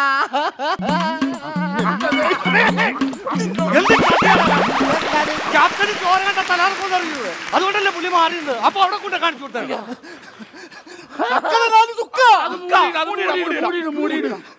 നമ്മുടെ അഞ്ച് സഹോദരങ്ങളാണ് അത് കഴിഞ്ഞിട്ട് എനിക്ക് ബാക്കി എന്തുള്ളൂ? ഇപ്പൊ ഓക്കെ ഇപ്പൊ റെഡിയായി അപ്പൊ നിന്ന സംഘടനയിൽ എടുത്ത്. കേട്ടാ? ചെറുതിങ്ങനെ നീങ്ങുന്നേ. ചെറിയൊരു റെഡിയും കൊണ്ട് ഇനി നമ്മൾ നേരത്തെ പറഞ്ഞ പോലെ കുറുക്കിട. കുറുക്കല്ല നറുക്കിട. ആ തലക്ക് മറ്റേ ഇത് വന്നുകൊണ്ട് അങ്ങനെ വന്നു പോയതാ. ഓക്കെ. അപ്പൊ ഞാൻ എഴുതട്ടെ? അപ്പഴേ ആരുടെ പേര് വന്നാലും അവർ പോണം. വാക്ക് വാക്ക്. ഓപ്പറേഷൻ സക്സസ് ആയിരിക്കണം. ഓക്കെ? എന്താ സംഭവം എന്താ? ഇവിടുത്തെ മെയിൻ ആളെ തെരഞ്ഞെടുക്കേണ്ട ഒരു സംഭവം. ആണോ? ഞാൻ ഞാനും ഉണ്ട്. നീ. ഞാനായല്ലോ ഇപ്പൊ തീവ്രവാദി ആയല്ലോ. ശരിയായില്ല ഇതേ ജീവന്മാരുടെ കളിയാണ്. അതുകൊണ്ടല്ല. എന്റെ പേര് അവന്റെ പേര് എഴുതിയിട്ടുണ്ട്. ഓക്കെ. ഇനി ഈ കിട്ടുന്ന ആൾ പോയിക്കോളൂ കേട്ടോ. ഓക്കെ റെഡി എടുത്തോ. ഒരെണ്ണം. വലുത് കൈ വലുത്. കൈ ആ പുള്ളി ബോറം കെട്ടി വേണ്ട വേണ്ട വേണ്ട എടുത്തോ. എന്റെ മന്തുള്ള മൂത്തമ്മേ എന്റെ പേരാവല്ലേ?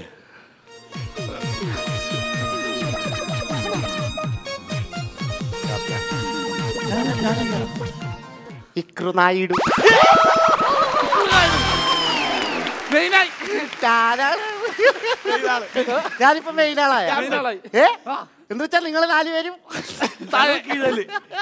അയ്യോ ഞാൻ ക്യാപ്റ്റനാണ്. തീവ്രാതി തീവ്രാതി തീവ്രാതി ഞാൻ വന്ന് കേറിയതേ ഉള്ളൂ അപ്പോഴത്തേക്ക് രക്ഷപ്പെട്ടില്ല. പോവല്ല ഇനിയിപ്പോ എന്താ ചെയ്തത് ഇനിയിപ്പോ ഒരൊറ്റ ചടങ്ങുള്ളൂ. നമ്മളൊരു ബെൽറ്റ് കെട്ടും.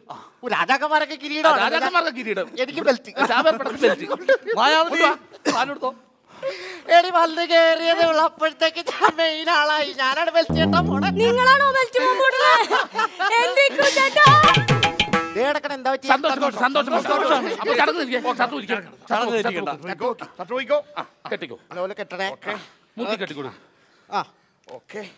എങ്ങനെയുണ്ട് സംഭവം? സൂട്ടാണാ? സൂട്ടാണ്. കെട്ടിക്കോട്ടെ. എന്താ ഒരുമാതിരി ടൂ ടൂ ടൂ എന്ന് പോലെ സൗണ്ട് കേൾക്കണ അതിങ്ങനെ ടൂ ടൂ ടൂ എന്ന് കേൾക്കും. പിന്നെ ടാ എന്ന് കേൾക്കും. എന്താ അങ്ങനെയൊക്കെ അത്? എന്തായാലും നമുക്ക് ഗംഗയിൽ കൊണ്ട് ഒഴുക്കാല്ലേ? എന്തിന് അത്രയെങ്കിലും ചെയ്യണ്ടേ? ഒരു ഇച്ചിരിയല്ലേ കിട്ടുള്ളൂ. അത് അത് എറണാകുളത്ത് ഓടയിലിട്ടാ എന്തിന്? ഇവിടുത്തെ ക്ലോസറ്റിൽ ഇടാന്നേ. പിന്നെ? ക്യാപ്റ്റൻ പറയുന്ന കേക്കോ? നമുക്ക് ചിതാഭസ്മം നേരെ അഞ്ചു പേർ കൂടെ ഗംഗയെ കൊണ്ടു അല്ല, അഞ്ച് നമ്മളല്ല. പേര്, നാല് പേരുണ്ടാവുള്ളൂ. ഞങ്ങൾ നാലുപേരെ പോണത്. ഞാനവിടെ തന്നെ എനിക്ക് എന്താണ് അത്. മനസ്സിലാവാത്ത അതായത് ഈ ബോംബ് പൊട്ടുമ്പോ ചെതറി മരിക്കുമല്ലോ അപ്പൊ കിട്ടിയ ഒന്നര രണ്ടോ കഷ്ണം നമ്മൾ കത്തിച്ചിട്ട് ഇങ്ങനെ കൊണ്ടുപോകും. ആരുടേത്? അപ്പൊ ബോംബ് കെട്ടിയേക്കണം നിന്റെ അരയിലാണല്ലോ. ആ. അപ്പൊ പൊട്ടുമ്പോ നീയാണ് മരിക്കണത്. നാലും കൂടെ എനിക്ക് അധികം വില പിടിക്കില്ല പൊട്ടും. വാവത്ത് വാവത്ത് വാവത്ത് ആ, ഇനി ഒന്നുമില്ല. ആ വൈകിട്ട് അഞ്ചരക്ക് എറണാകുളം നോർത്ത്. എറണാകുളം നോർത്ത്. എന്താണ്? എനിക്ക് മറ്റേ സാധനം കിട്ടൂല. Ernakulam north. Railway station. Okay. യാത്രക്കാരുടെ ശ്രദ്ധയ്ക്ക് ട്രെയിൻ നമ്പർ അറുപത്താറ് ഇരുപത്തേഴ് ചെന്നൈയിൽ നിന്നും മംഗലാപുരം വരെ പോകുന്ന വെസ്റ്റ് കോസ്റ്റ് എക്സ്പ്രസ് ഒന്നാമത്തെ പ്ലാറ്റ്ഫോമിലേക്ക് അല്പസമയത്തിനുള്ളിൽ എത്തിച്ചേരുന്നതാണ്. നീ ഒറ്റ എന്നെ അവിടെ വിളിച്ചു വരുത്തിയത് ഇത്ര പണി ഒപ്പിച്ചത്. ഞാൻ ഇതും കൊണ്ട് ഞാൻ ഇവിടെ ഹലോ? വെച്ചിട്ട് പോയ കട്ട് ചെയ്താ പണ്ടാര കാലത്ത്. അയ്യോ ഇന്ന് ഞാൻ ചിരിച്ചു മരിക്കും ഇവന്റെ കാര്യം കൂടി ഞാൻ തോറ്റ.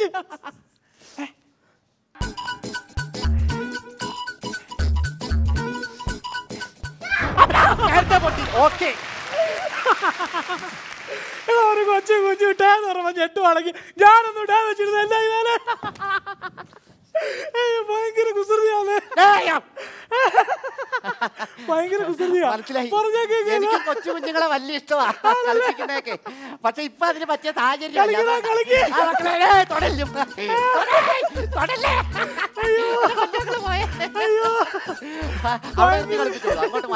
ഭയങ്കര കുസൃതിയാ. പോലെ വാള ചെല്ലടാ.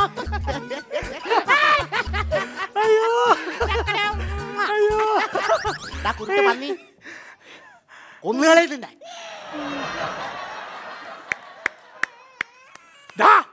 നീ എന്റെ കൊച്ചിനെ കറിയിച്ചോ ആരല്ല നീ എന്റെ കൊച്ചിനെ കറിയിച്ചോ ചേട്ടാ തൊട്ടൂടാ തൊടാതെ നീ എന്റെ ബ്രാഹ്മണനോ ഏത് കോലത്തെ ബ്രാഹ്മണനാണ് നീ കണ്ടാ മതിയല്ലോ ബ്രാഹ്മണൻ. ഇടിക്കടാ ഇടിക്കടാ ഇടിക്കടാ അങ്ങോട്ട്. വരട്ടെ കുരുട്ടെ പോടാ. പോടാ. പോടാ. പറഞ്ഞില്ലേ എന്റെ അടുത്ത് എടാ എടാ എന്റെ കൊച്ചിനെ നീ പിന്നെ എടാ ആറ്റു നോറ്റ് ഉരുളി കമത്തി ഉണ്ടായ നേർച്ച കൊച്ചാണ് അത്. ചേട്ടനെ കൊണ്ട് ഉരുളി അമത്താനേ ഓ അയ്യോ. തൊട്ടാനടാ. ചേട്ടാ പൊട്ടും. പൊട്ടാ നീ എന്നാടാ പടക്കോ? പടക്കമല്ല എന്നെക്കാട്ടി വലിയ സംഭവം. ആണല്ലേ? ഇടിക്കടാ ഞുള്ളടാ മാന്തടാ ചെല്ലടാ ചെല്ലടാ അവനെ.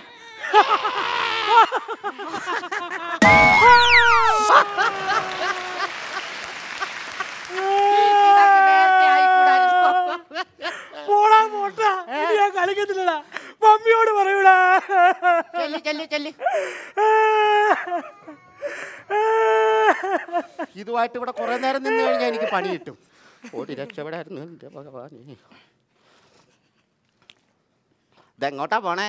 വയറ്റിലേക്ക് അല്ലാണ്ട് തിന്നണ താനം ബഹിരാജ്യത്തേക്ക് പോവുക അല്ല ചേട്ടൻ എങ്ങോട്ടാ പോണേന്ന്? ഞാൻ കുറെ ദൂരട്ടാ. എന്ന് വെച്ചാൽ കന്യാകുമാരിയൊക്കെ കഴിഞ്ഞാൽ അങ്ങ് പോണോ? അതിലും ദൂരെ. ആണോ? വടക്കോട്ടാണോ തെക്കോട്ടാണോ? മേലോട്ട്. ഇവിടുന്ന് ട്രെയിൻ മേലോട്ട് കൊണ്ട്. എടോ ഞാൻ ചാകാൻ വന്നു ഏ? ആ. ചാകാൻ വന്നേടാ. വലിയ സന്തോഷം ചേട്ടാ. പിന്നെ എന്താ വിഷയം എന്താ? ഒന്നുമില്ല. ഏ? ഞാൻ അത് ഞാൻ പറഞ്ഞു തന്നും കൂടി വെറുതെ വിഷമിക്കും. വേണ്ട. അല്ല എന്നാലും ചാവുന്ന കാര്യം എന്താ ചേട്ടാ അത്? അതല്ല ഏട്ടാ അതെ നമ്മൾ മനുഷ്യനെ ഒരിക്കലും മനസ്സിന് പ്രയാസം വന്നു കഴിഞ്ഞാൽ നമുക്ക് ജീവിക്കാൻ പറ്റില്ല.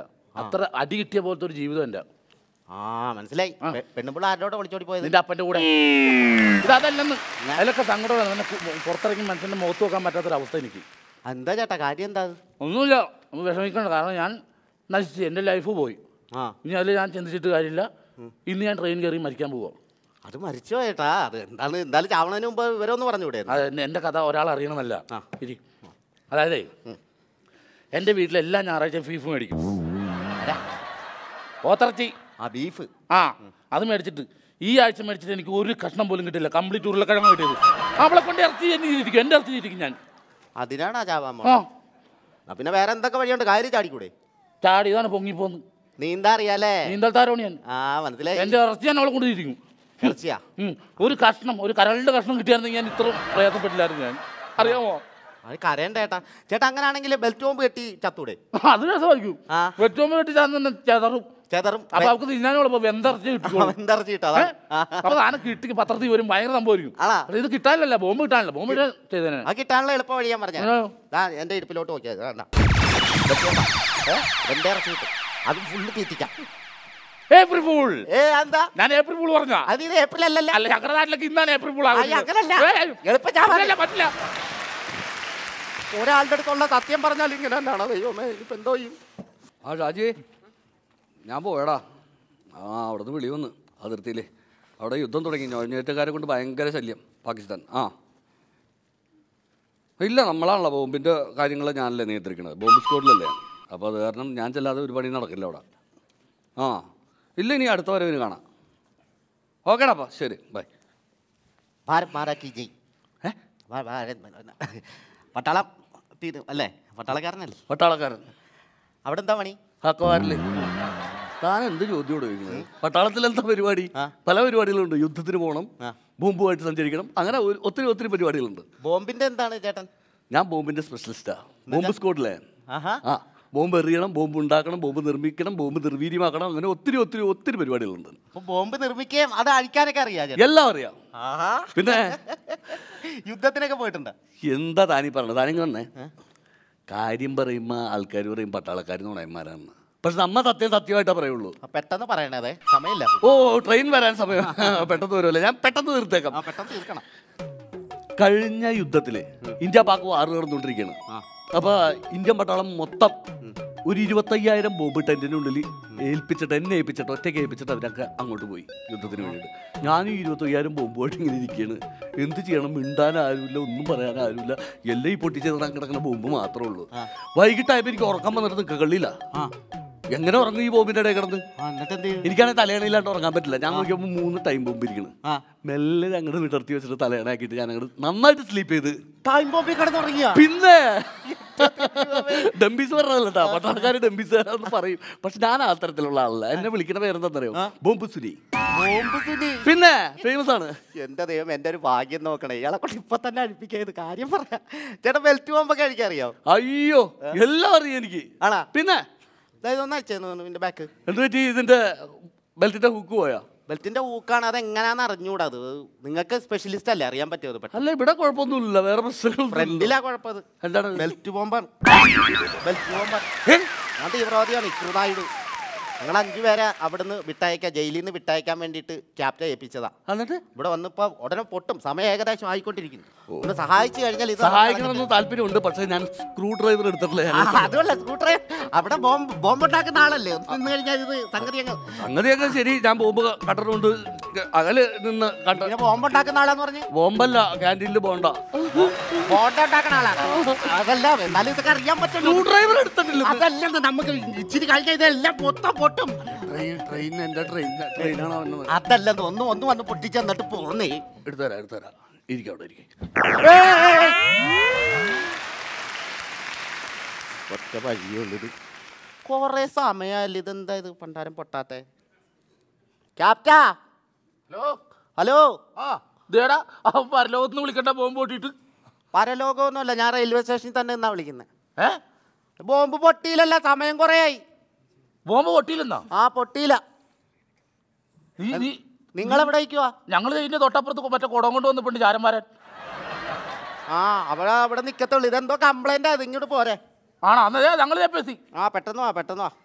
കംപ്ലൈന്റ് വരാൻ. സാധ്യതയില്ലല്ലോ. മനുഷ്യനെ പറ്റിക്കുന്നത് മര്യാദ ഉണ്ട് കേട്ടോ. എടാ ഇത് പൊട്ടിയില്ലേ ഇത്? ഏതാ കാ പൊട്ടിയൊന്നുമില്ല. കുഴപ്പമൊന്നുമില്ല ഇത്ര നേരം ഇവിടെ വന്നിരിക്കുന്നതെന്നറിയോ വന്നേ വാ. നീയാണ് ഇത് ഉണ്ടാക്കിയത്? ഞാനല്ല. നീയാണ് ഉണ്ടാക്കിയത്? ഞാനല്ല ഇതാ സുഭാഷ് ചന്ദ്രബോസിന്റെ മോനല്ലോ ഉണ്ടാക്കിയത്. വെറുതെ അല്ല അവൻ ഇടയ്ക്ക് വെച്ച് മുങ്ങിയത്. ആ അത് എന്നാലും പൊട്ടാത്ത സ്ഥിതിക്കിത് സംഘടനയ്ക്ക് വേണ്ടി ചാവാൻ വന്ന എന്നെ എല്ലാരും കൂടെ ചേർന്ന് എന്തോ പരീക്ഷിച്ചതാണല്ലേ?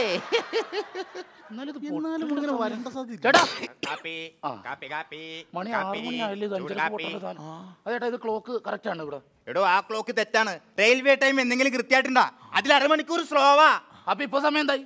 ഇപ്പൊ കൃത്യം അഞ്ചലായിട്ടുണ്ട് ആ. അയ്യോ!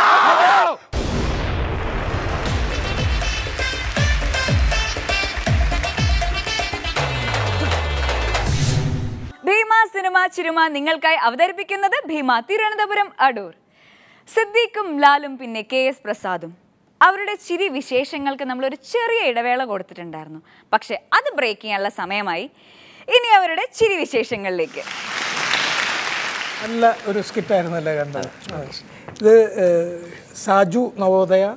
അതുപോലെ രാജേഷ് പറവൂർ അഞ്ജന കൊല്ലം സുധി. രാജേഷ് പാണാവള്ളി അതെ. ഒക്കെ ഉള്ള ഇവിടെ നിൽക്കേണ്ടവരൊന്നും അല്ല. അല്ല അവർ പലരും സിനിമയിൽ വന്നു കഴിഞ്ഞിരിക്കും. ആ കുറച്ച് പേരൊക്കെ വന്നു കഴിഞ്ഞു. ഈ ഇനിയും സാജു നവോദയ സാജു ഗംഭീര ആർട്ടിസ്റ്റാണ് നല്ല ആർട്ടിസ്റ്റാണ്. കോമഡി ഫെസ്റ്റിവൽ ഈ വേദിയിൽ നിന്ന് തന്നെ സിനിമയിൽ എത്തിയ സിനിമയിലെത്തിയ ആളാണ്. ഇനിയും ഒരുപാട് പേര് സിനിമയിൽ വരാനുണ്ട്. അവരുടെ സ്ക്രിപ്റ്റ് വർക്കും വളരെ സ്ക്രിപ്റ്റിംഗ് ആണ് സ്ക്രിപ്റ്റിംഗ് ആണ് ഇതിന്റെ ഒരു ലൈഫ്. അവരുടെ അവരുടെ സ്കിറ്റുകളൊക്കെ അങ്ങനെ തന്നെയാണ്. വളരെ നാച്ചുറൽ മനോരമയുടെ ഈ ഉൾക്കുണ്ടാക്കി കൊടുക്കുന്ന സെറ്റ് ഒരു സെറ്റിംഗ് ഉണ്ടല്ലോ. അതൊക്കെ പറയാണ്ടിരിക്കാൻ ഓർത്തില്ല ഗംഭീരമാണ് ഗംഭീരമാണ് അവർക്ക് എന്തും ചിന്തിക്കാം. ചിന്തിക്കാം. അപ്പോൾ നമ്മളൊന്നും മിമിക്രി കളിക്കുന്ന സമയത്ത് ഇങ്ങനെയൊന്നും ഉണ്ടായിരുന്നില്ല. നമുക്ക് ഓട്ടോറിക്ഷ എന്ന് പറഞ്ഞാൽ മാക്സിമം സ്റ്റീലിന്റെ കസേര പണ്ട് ഈ കലാഭവനിൽ ഒരു കാര്യം പഴയ ഒരു കാര്യം ഓർത്താണ്. ഈ ഐറ്റംസ് നമ്മൾ അവതരിപ്പിക്കുമ്പോൾ ആബേലശം വിളിച്ച് പറയും ഈ ഐറ്റംസ് ഒക്കെ പഴയതായി. അത് സിദ്ധിക്ക് പോയതിന് ശേഷം അതെ അതെ സിദ്ധിക്ക് പോയ ശേഷമുള്ള ഞാൻ പോയി കഴിഞ്ഞാൽ പഴയതാവുമല്ലോ. അപ്പൊ ലാലിനെ വിളിച്ചാ പറയുന്നത്. അപ്പൊ ഞങ്ങളുടെ അന്നത്തെ ഹിറ്റ് ഓർക്കണല്ലേ? ഓട്ടർഷ ഓട്ടർഷയിൽ ഗർഭിണി ഇരുന്ന് പോകുന്നു. അൻസാറിന്റെ അൻസാർ അവസാനം ഞാൻ ഓട്ടർഷ ഓടിക്കുന്നു. അവസാനം ഇത് ഗർഭിണി പ്രസവിക്കുന്നു. ഇത് പഴയ ഐറ്റം ആണല്ലോ. പറഞ്ഞു കഴിഞ്ഞാൽ ഇത് കാണുന്ന ഒരാളുകളല്ലല്ലോ. പല പല അവരൊക്കെ ഭയങ്കരമായിട്ട് എൻജോയ് ചെയ്യുന്നുണ്ട്. അഭിപ്രായം വന്നിരിക്കുന്നത് ഇത് പഴയ ഐറ്റം എന്നാണ്. എന്നാ നമുക്കൊരു കാര്യം ചെയ്യാം അച്ഛാ. നമുക്കിപ്പോ ഇങ്ങനെ കൈകൊണ്ട് വലിക്കുന്ന ഓട്ടോറിക്ഷ ആണല്ലോ ചവിട്ടി സ്റ്റാർട്ട് ചെയ്യുന്ന ഓട്ടോറിക്ഷ. അച്ഛൻ ഹാപ്പി അച്ഛൻ ഹാപ്പി. അച്ഛൻ എപ്പോഴും ഹ്യൂമർ ആസ്വദിക്കുന്ന ആളാണ് അച്ഛൻ. അതാണ് ശരിക്കും പറഞ്ഞാൽ ശ്രദ്ധിക്കുന്നില്ല എന്റെ ആദ്യത്തെ സ്ക്രിപ്റ്റ് ഏതാണെന്ന് അറിയുമോ ആദ്യത്തെ സ്ക്രിപ്റ്റ് നാടോടി റാംജിറാവു. റാംജിറാവു അല്ല? അതിനു മുമ്പ്. അതിനു മുൻപ് പപ്പൻ. അതിനു മുമ്പുണ്ട്. നാടോടിക്കാറ്റ് അത് നാടോടിക്കാറ്റ് ഞങ്ങളുടെ സ്ക്രിപ്റ്റ് അല്ല. അതിനു മുമ്പുണ്ട്. അതിനു മുൻപ്. അതിനു അതിനു മുമ്പ് എന്ന് പറഞ്ഞാൽ മിമിക്സ് പരേഡ് എന്ന കലാരൂപത്തിന്റെ സ്ക്രിപ്റ്റ് ശരിക്കും നിങ്ങളാണ് ശരി. നമ്മളെല്ലാവരും ഉണ്ട്. ഞാനൊക്കെ ഒരുമിച്ച് കൂടി നമ്മൾ ഇരിക്കാറുണ്ടായിരുന്നു. എവിടെ വെച്ചാന്ന് ഓർമ്മയുണ്ടോ? സ്ഥലം. സ്റ്റേഡിയത്തിൽ എറണാകുളം സ്റ്റേഡിയത്തിന്റെ മുകളിൽ കയറി നിന്നിട്ട് ഇങ്ങനെ ആലോചിക്കലാണ്. അവിടെ അവിടെ ഇരുന്നിട്ടാണ് അല്ല അന്ന് കുറെ പുതിയ ശബ്ദങ്ങളൊക്കെ ഇപ്പൊ അതിനകത്ത് ഇപ്പൊ എനിക്ക് നല്ല ഓർമ്മയുണ്ട്. പടക്കം. ഉണ്ടല്ലോ വെടിക്കെട്ടിന്റെ പടക്കം. ചെറുതായിട്ട്? ഇതൊക്കെ കണ്ടുപിടിച്ച? ഇതൊക്കെ ആദ്യത്തെ കണ്ടുപിടുത്തങ്ങളാണ് പടക്കത്തിന് ശബ്ദം കണ്ടുപിടിച്ചു ഈ ബാൻഡ് സെറ്റ് ബാൻഡ് സെറ്റ് ഞാൻ കണ്ടുപിടിച്ചു ഈ സാധനം ഉണ്ടല്ലോ ആ. സൗണ്ട് അങ്ങനെ അന്ന് കണ്ടുപിടിച്ച കുറെ ശബ്ദങ്ങളുണ്ട്. ഇതിനു വേണ്ടി തന്നെ. അതൊക്കെ കൂടി കൂട്ടിയിട്ടാണ് നമ്മൾ തൃശ്ശൂർ പൂരം ഉണ്ടാക്കി തുടങ്ങാനായിട്ട്. തൃശ്ശൂർ പ്രോഗ്രാം തുടങ്ങുന്ന ഒരു ഭയങ്കര. ശബ്ദം വേണം. അങ്ങനെ വെച്ചിട്ട് അത് മാത്രമല്ല നമുക്ക് എപ്പോഴെങ്കിലും ഒരു ഗ്യാപ്പ് ഉണ്ടെങ്കിൽ ഞാൻ ഓടി വരും പുല്ലേപ്പടി ജംഗ്ഷനിൽ പുല്ലേപ്പടി ജംഗ്ഷൻ എന്ന് പറഞ്ഞാൽ അതൊരു ഭയങ്കര സജീവമാണ് സിദ്ദീഖിന്റെ ലാലിന്റെ ഒക്കെ സംഘമാണ്. അത് സംഘം എന്ന് പറഞ്ഞു കഴിഞ്ഞാൽ ജംഗ്ഷനിൽ മാത്രമല്ല. നമ്മുടെ വീടും നല്ല ഒരു സംഘമായിരുന്നു. ഒരുപാട് പേരുണ്ട്. എല്ലാവരും നല്ല രസികന്മാരാണ്. സിദ്ദിഖിന്റെ വീട്ടിൽ എനിക്ക് എത്ര- കുടുംബങ്ങൾ കുടുംബങ്ങളുണ്ടായിരുന്നു? സിദ്ദിഖ് സിദ്ദിഖിന്റെ കൊച്ചാപ്പ അവരുടെ മൂന്ന് ഫാമിലി മക്കൾ. അങ്ങനെ അങ്ങനെ അങ്ങനെ. അത് ഒരു എന്താ പറയുക പറയാ? മൂന്ന് ഈ വലിപ്പം വീടിന്റെ വലിപ്പം എന്നൊക്കെ പറയുന്നത് വീടിന്റെ വലിപ്പമല്ല മനസ്സിന്റെ വലിപ്പമാണെന്നൊക്കെ തിരിച്ചറിയുന്ന കാര്യങ്ങളാണ് കാരണം സിദ്ദിഖിന്റെ വീട് അന്നത്തെ വീട് പറഞ്ഞാൽ വളരെ ചെറിയ വീടാണ് തറവാടാണ്. എല്ലാവരും ഇരുപത്തഞ്ച് മുപ്പത് പേരുണ്ടോ? അതിൽ കൂടുതൽ ഉണ്ട് അല്ലേ? അതിൽ കൂടുതലൊക്കെ ഉണ്ടാവും ഒരു വീട്ടിൽ? ആ പിന്നെ. ഉണ്ട്, ഉണ്ട്. ഓ, എല്ലായിടത്തും അടിക്കിയിട്ട പോലെ എല്ലാവരും കിടക്കുന്ന കാര്യം. അവിടുത്തെ പഴയ നല്ല രസ്യം കോമഡി ഉണ്ട്. എല്ലാവരും അങ്ങനെ പറഞ്ഞു പറഞ്ഞുണ്ടായതാ സിദ്ദിഖിന്റെ വീട്ടിൽ ഒരിക്കലും കള്ളം കയറി ആ. അപ്പൊ ഇയാൾ ഓട് പൊക്കിയിട്ട് അതിന്റെ മുകളിൽ കൂടി കയറിട്ടിട്ട് തൂങ്ങി ഇറങ്ങി താഴെ വന്നു. താഴെ വന്നിട്ട് പുള്ളിയുടെ പ്രശ്നം എന്താ പറ്റിയെന്ന് വെച്ച് കഴിഞ്ഞാൽ കള്ളന്. ചവിട്ടാനൊരു സ്ഥലം വേണമല്ലോ. ഭൂമിയിൽ. ഇയാൾ ഇങ്ങനെ ആടി നടന്ന അവിടെ ഒക്കെ എവിടെ നിവൃത്തിയില്ല പുള്ളി കയറ് വഴിയാണ് തിരിച്ച് മുളി കയറി. കയറി ടയർഡായി പുള്ളിക്ക് ഇതൊക്കെ അന്നത്തെ കഥയാണ്. പുള്ളിക്ക് ടോയ്ലറ്റിൽ പോകണമെന്ന് തോന്നി. സ്ട്രെയിൻ അപ്പൊ നേരെ അപ്പുറത്ത് ടോയ്ലറ്റ് ഉണ്ട്. ടോയ്ലറ്റിന്റെ ഓടും മാറ്റുമ്പോ അതിലൊരാളുണ്ട് പുറത്തൊരാൾ വെയിറ്റിംഗ് ഉണ്ട്. ഈ ആൾ ആൾക്കൂട്ടത്തിന്റെ കാര്യത്തിൽ ലാലിന്റെ വീടും ഒട്ടും മോശമല്ല കേട്ടോ. ലാലിന്റെ വീട്ടിലും ഒരുപാട് ലാലിന്റെ അപ്പച്ചി അപ്പച്ചി അപ്പച്ചിയാണ് പന്ത്രണ്ട് മക്കളായിരുന്നു. പന്ത്രണ്ട് മക്കൾ അത് പോരാത്തതിന് ദത്തു എടുത്തിട്ടുണ്ട് അങ്ങനെ പതിമൂന്ന് മക്കളാണ്. ഒരു വലിയ കുടുംബമാണ്. അതും ഭയങ്കര രസികന്മാരാണ്. ലാലിന്റെ അപ്പച്ചയാണെങ്കിലും ഇളയപ്പനാണെങ്കിലും. ആന്റി എല്ലാവരും അതെ. അപ്പനും ഒക്കെ എത്ര ദിവസം? വീട്ടിൽ വന്ന് കിടന്നിട്ടുണ്ട്. ലാലും പണ്ട് എന്റെ വീട്ടിൽ വരുമ്പോൾ വീട്ടിൽ വന്ന് പത്താം ക്ലാസ്സിലൊക്കെ പഠിക്കുമ്പോൾ അമ്മയടുത്ത് പറയും അമ്മോ ഒരു ഗ്ലാസ് പച്ചവെള്ളം എന്ന് പറയും. അപ്പം സൗണ്ട് ഇങ്ങനെ തന്നെ ആയിരുന്നു. അപ്പോഴേക്കും അമ്മ വെള്ളം എടുക്കാൻ പോകുമ്പോഴേക്കും പറയും നാരങ്ങ ഉണ്ടെങ്കിൽ പിഴിഞ്ഞിട്ട് പഞ്ചസാര ഇട്ടോ. വെള്ളം ചോദിക്കേണ്ടതിന് പകരം അല്ല അപ്പോഴും എന്റെ ശബ്ദം തോന്നുന്നു. എന്റെ ശബ്ദത്തിന്റെ കാര്യം അറിയാവോ ഞാൻ ഒരു ഒമ്പതിലൊക്കെ പഠിക്കുന്ന സമയത്ത് ഞാൻ നായികയായിട്ട് അഭിനയിച്ചിട്ടുണ്ട് നാടകത്തിൽ. ബലിത്തറ എന്ന് പറഞ്ഞ നാടകം. നമ്മൾ തമ്മിൽ പരിചയപ്പെട്ടിട്ടില്ല അന്ന്. ആ സമയത്ത്. ആ, അതിന് അന്ന് മുമ്പ് ഞങ്ങൾ ഞാൻ ബലിത്തറ- കണ്ടിട്ടുണ്ട് നമ്മൾ നമ്മൾ സ്കൂളിൽ ആ പഠിക്കുമ്പോൾ നാടകത്തിൽ ഞാൻ നായികയാണ്. കാ- എനിക്കുണ്ടായിരുന്ന എന്റെ രൂപം പെണ്ണിന്റെ ആയതുകൊണ്ടല്ല എന്റെ ശബ്ദം അസൽ പെണ്ണിന്റെ ശബ്ദമായിരുന്നു. അവിടെ ഒരു മാറ്റം രണ്ടറ്റത്താ അതുകൊണ്ട് ആ- ശബ്ദത്തിന്റെ പേരിലാണ് അന്ന് ഹീറോയിനായിട്ട് അതിനകത്ത് മാത്രമല്ല ഞാൻ പുറത്ത് ഒരു പ്രോഗ്രാം ആദ്യമായിട്ട് നടന്നത് ഏതാണെന്നറിയുമോ? ലാലിന്റെ വീടിന്റെ തൊട്ടടുത്തൊരു മുസ്ലിം ഹോസ്റ്റലില്ലേ. അവിടെ ഒരു ആനിവേഴ്സറിക്ക് എഴുപത്തി അഞ്ചിൽ എഴുപത്തി അഞ്ചിൽ പ്രൊഫഷണൽ ആയിട്ട് പുറത്തൊരു പ്രോഗ്രാം ഞങ്ങളൊക്കെ അതിനകത്ത് കടക്ക കയറാൻ വേണ്ടി കൊതിക്കുന്ന ആളുകളാണ് കാരണം ഞങ്ങളൊക്കെ അവിടുത്തെ ശത്രുപക്ഷത്തുള്ള ആളാണ് കാരണം എല്ലാ പെണ്ണുങ്ങളും മാത്രമുള്ള ഹോസ്റ്റലാണ്. അവിടുത്തെ പരിപാടിക്ക് അതിന്റെ അകത്ത് പക്ഷേ ഞാൻ എനിക്കൊരു പ്രോഗ്രാം കിട്ടി താനുമായിട്ട് നമ്മൾ കേറി അവിടെ. അപ്പോൾ അന്ന് ആ ഹോസ്റ്റലിന്റെ അകത്ത് എന്നെ ബുക്ക് ചെയ്തു പ്രോഗ്രാം അപ്പോൾ എന്റെ കൂടെ ഉണ്ടായിരുന്ന ആൾ ഉസ്മാൻ പോയിട്ട് ലാലാണ് പിന്നെ എന്റെ കൂടെ. അപ്പോൾ ലാലുമായിട്ട് വന്നു. അപ്പോൾ ലാലിന്റെ അവിടെയുള്ള ഫ്രണ്ട്സ് ഞാൻ എന്റെ കൂടെയുള്ള ഫ്രണ്ട്സ് ലേഡീസ് ഹോസ്റ്റൽ ആയതുകൊണ്ട് ഫുൾ അകത്ത് കയറി. ബോയ്സ് അപ്പോൾ അപ്പോൾ അവിടുത്തെ മേഡ്രൻ ഈ പറയാണ് പോലീസ് ഇൻസ്പെക്ടറെ വിളിച്ചിട്ടുണ്ട്. സാർ ഇവിടെ കുറേ അലവലാദികൾ വായുനോക്കികളുണ്ട് അവന്മാർ ഇന്ന് കാണുന്നില്ല ആരെ കാരണം എല്ലാത്തിന്റെ അകത്തുണ്ടാവും. പിടിക്കരുത്.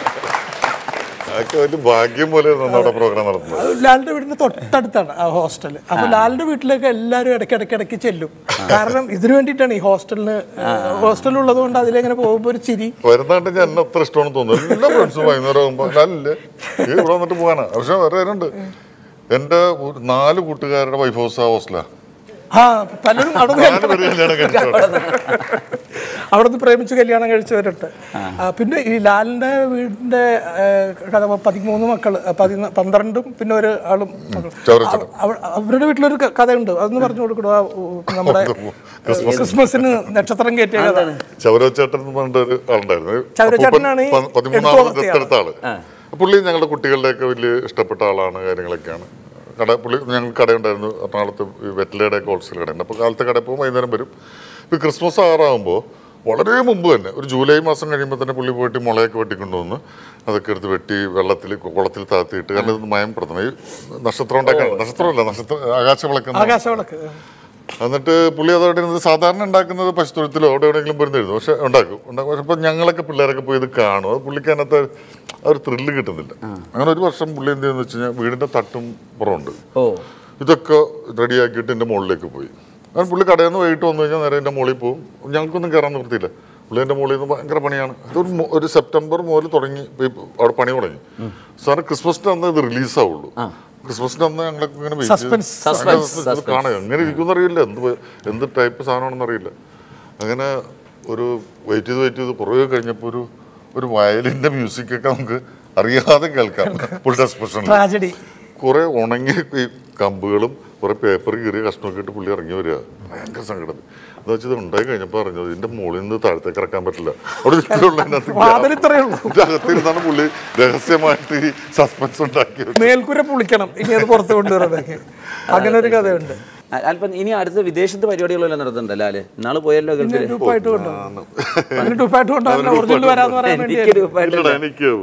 സിനിമ ആർട്ടിസ്റ്റുകളായിട്ട് പോലെ ഇവിടെ നിന്ന് പോകുമ്പോൾ അവർക്ക് ഭയങ്കര താല്പര്യമാണ് ലാലേ ഒരു പ്രോഗ്രാം സംഘടിപ്പിക്കും. നമുക്ക് എല്ലാവർക്കും കൂടി പോവാം. നമുക്ക് നമ്മളൊക്കെ സ്റ്റേജിൽ നിന്ന് വന്നവരാ. നമുക്ക് ആ സ്പിരിറ്റ് ഉണ്ട്. നമുക്ക് ആ ഒരു സ്പിരിറ്റും ഒരു പേടിയും ഒക്കെ ഉണ്ട് ഓഡിയൻസിന് അപ്പൊ ആ ഏഴ് മണിക്ക് ആ പ്രോഗ്രാമിൽ നമ്മളൊരു നാല് മണി നാലര മണിയാകുമ്പോഴേക്കും റൂമിൽ നിന്ന് ഇറങ്ങാൻ ഇറങ്ങാമെന്ന് പറയും. ഇവർ ചോദിക്കുന്നത് നമുക്ക് അവിടെ ചെന്നിട്ട് സ്റ്റേജ് കാണണം. മൈക്ക് ഇട്ട് നോക്കണം മൈക്ക് ടെസ്റ്റ് ചെയ്ത് നോക്കി എല്ലാം നോക്കി ഒക്കെയാണെങ്കിൽ പിന്നെ ഒരു ഒരു- മണിക്കൂർ വെറുതെ ഇരിക്കാം. പക്ഷേ ഈ ആർട്ടിസ്റ്റുകളെ സംബന്ധിച്ചോളം ഒന്നും പ്രശ്നമല്ല. അവർക്ക് ഏഴ് മണിക്കാ പ്രോഗ്രാം നമ്മൾ ആറിലൊക്കെ ചെന്നാൽ പോരെ. പിന്നെ ഇങ്ങനെ കൈയെടുത്ത് പിടിച്ചു തരും അപ്പോൾ ഷർട്ട് ഇട്ട് കൊടുത്തു കഴിഞ്ഞാൽ ഇങ്ങനെ എടുത്ത് ബട്ടൺ ഇടും എന്ന് പറയുന്ന സ്വഭാവമാണ് പലർക്കും അപ്പോൾ അതുകൊണ്ട് ഞാൻ ആ പരിപാടി നടത്തി അങ്ങനത്തെ പരിപാടി അല്ല പണ്ട് ഞങ്ങൾ പോയിരുന്നു. ഞങ്ങൾ ഒരുമിച്ച് പോയിരുന്നു. ഞങ്ങൾ അതൊക്കെ അനുഭവിച്ചിട്ടുണ്ട് ആ, അതിന്റെ ഏറ്റവും വലിയ അനുഭവം ഞാൻ പറയാം. അത് ഭയങ്കര രസമുള്ള അനുഭവമാണ്. അത് നമ്മൾ വിദേശത്ത് നിന്ന് പ്രോഗ്രാം കഴിയുമ്പോൾ ഈ പ്രത്യേകിച്ച് ഈ അമേരിക്കയിൽ യു എസിലൊക്കെ ഈ ഫാമിലീസ് വന്ന് ഫോട്ടോ എടുക്കും നമ്മളുടെ. അപ്പോൾ ഫോട്ടോ അവർ അവർ വല്ലപ്പോഴുമാണ് ഇവരൊക്കെ കിട്ടുന്നത്. അപ്പോൾ ലാൽ അപ്പോൾ ആർട്ടിസ്റ്റായി കഴിഞ്ഞിരിക്കുന്നു. ഞാൻ ആർട്ടിസ്റ്റല്ല ഞാൻ ഡയറക്ടർ. അപ്പോൾ എന്നെ ഒന്നും വേണ്ട. ലാലിന്റെ കൂടെയാണ് ഫോട്ടോ എടുക്കുന്നത്. മറ്റ് ആർട്ടിസ്റ്റുകളുടെ കൂടെയാണ്. അപ്പോൾ അപ്പോൾ എല്ലാവരും ഫോട്ടോ എടുക്കുമ്പോൾ ആദ്യം എല്ലാവരും കൂടി നിന്നിട്ട് പറയും "ഒ- ഒറ്റയ്ക്ക് ഒറ്റയ്ക്ക് എടുക്കാമെന്ന് പറയും. അങ്ങനെ ഹസ്ബൻഡായിരിക്കും ഫോട്ടോ എടുക്കുക. അപ്പോൾ ഹസ്ബൻഡും വൈഫിനെ നിർത്തിയിട്ട് നീ നിൽക്കുന്നു പറഞ്ഞിട്ട് ഇങ്ങനെ നിർത്തി ഫോട്ടോ എടുക്കാൻ വേണ്ടി ഇങ്ങനെ നിർത്തിയിട്ട് പറയും. അങ്ങനെ നിൽക്കല്ലേ തോളത്ത് കൈയിടൂ തോളത്ത് കൈയിടൂ എന്ന് പറയും. ആ വൈഫിനോട്. അപ്പോൾ ലാലും ഒന്ന് ഞെട്ടും. അപ്പോൾ ഒരു കുഴപ്പമില്ല ലാൽ പ്ലീസ്. അപ്പോൾ ലാലും വേഗം അല്ല ഒരു ചാൻസ് കിട്ടിയല്ല? സുഖം അങ്ങനെ ഫോട്ടോ എടുക്കുമ്പോൾ ഞാൻ പറയും അല്ലെ ഇതൊക്കെ അപകടം ഉണ്ടോ എന്ന് പറയും. അപ്പൊ- അപ്പോൾ എന്റെ അടുത്ത് പറയും തന്നെ ആരും ഫോട്ടോ എടുക്കാൻ വിളിക്കാത്തതിനുള്ള അസൂയല്ലേ എന്ന് പറയും. ഞാൻ പറയും ഓക്കെ ഓക്കെ എന്ന് പറയും. ഇത് കഴിഞ്ഞിട്ട് ഒരു ദിവസം മയൂര പാർക്കിൽ ഡിസ്കഷനിൽ ഇരിക്കുമ്പോൾ ലാൽ ജനുവരി ഒന്നാം തീയതി. ലാൽ വന്നിട്ട് ഭയങ്കര മൂഡ് ഔട്ടായിട്ട് ഇങ്ങനെ ഇരിക്കുന്നു. ഞാൻ ചോദിച്ചു എന്താ ലാലേ? ഏയ് ഒന്നുമില്ലടോ എന്ന് പറയും അല്ല എന്താ പ്രശ്നം? വീട്ടിൽ വല്ല പ്രശ്നമുണ്ട്? ഏയ് പോട്ടെ ആകെ പോട്ടെ. ഞാൻ പറഞ്ഞു എന്താ പ്രശ്നം?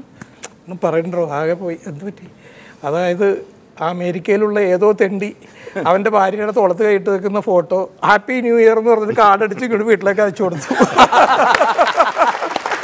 ഒരു വർഷം പോയി. ആ ഒരു വർഷം ഹാപ്പിനെസ് മുഴുവൻ പോയി ആ ഒറ്റ കാർഡിൽ അപ്പോൾ എന്തായാലും ഇത്തരം അനുഭവങ്ങൾ ഇത്തരം ഒരുപാട് രസങ്ങളുമായി നമുക്ക് വീണ്ടും അടുത്ത എപ്പിസോഡിൽ കാണാം. നന്ദി നമസ്കാരം. മിമിക്രി കുടുംബത്തിന്റെ കൂട്ടായ്മയിൽ നിന്നും ആരംഭിച്ച ഈ ചിരിയാത്ര തുടർന്നുകൊണ്ടേയിരിക്കുകയാണ്.